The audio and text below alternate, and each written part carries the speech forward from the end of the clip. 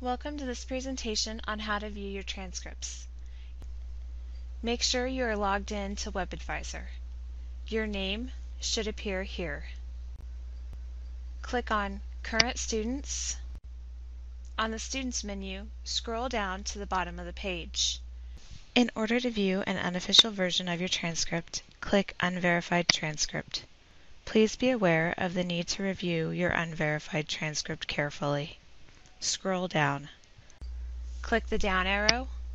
Select either UG Unverified Transcript or TEC Unverified Transcript. Click Submit. Scroll down to view the page. The list of courses and grades appears. As always, you can print by right-clicking anywhere on the screen. On the menu, select Print or Print Preview. Click the printer icon to print from the Print Preview page.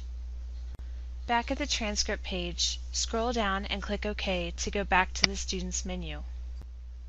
In order to request an official version of your transcript, click on the link Transcript Request. The transcript request form appears click the down arrow. Select either Official Transcript or Official Transcript TEC. Here we are requesting the official transcript. All fields marked with an asterisk are required. Enter the recipient of the transcript. Make sure you enter the information correctly as the transcript will process with the exact information provided on this form. Select the number of copies that you need to be sent. Click Submit. The confirmation form appears. Click OK to go back to the Students menu. If you want to check on the progress of your transcript request, scroll down and click on the link Transcript Request Status. The status bar shows the steps of the process and the progress of each request. When you check back at a later time, you will see the updates to your requests. For your information, KCKCC is not charging for processing official transcript requests, so please ignore the last two fields on the status bar.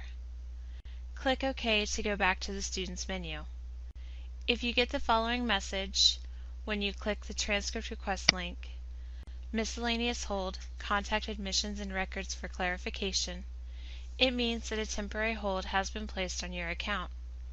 You must contact the admissions office directly to get it cleared. This must be done before you can submit a request for an official transcript. Click Log Out in order to protect your personal account information. The system logs you out and reminds you to close your browser. Click OK.